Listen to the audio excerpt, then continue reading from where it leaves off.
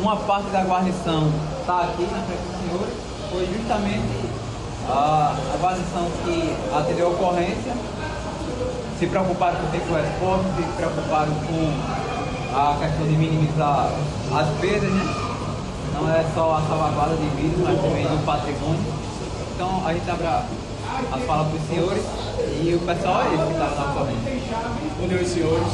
Meu nome é Sócrates Cordeiro Matheus de Araújo.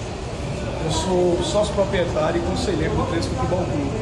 Estou aqui representando o conselho, bem como o nosso amigo Paulo Guimarães está aqui representando a diretoria executiva do Três Futebol Clube.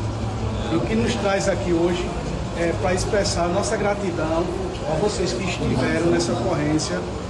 Se eu não me engano, faz 15 dias, esse sábado que passou, no início de incêndio na loja do Três Futebol Clube. Graças a vocês e a imediata atitude de vocês, os danos foram os mínimos possíveis. Então, estou aqui no nome do Conselho para trazer esse brinde para vocês, esse presente, expressando nossa gratidão. A vocês, do Corpo de Bombeiros de Campina Grande, nosso muito obrigado. Muito obrigado mesmo, nossa gratidão. E espero que vocês gostem do jeito que nós trouxemos. Faculta a palavra ao amigo Paulo Guimarães, representante executivo. É, meu nome é Paulo Guimarães, fazendo as palavras do amigo Barrozinho. Vocês foram super profissionais, como sempre. A gente sabe que o Corpo de Bombeiros é é, profissão. Vocês foram muito competentes, ágeis e evitou um dano maior.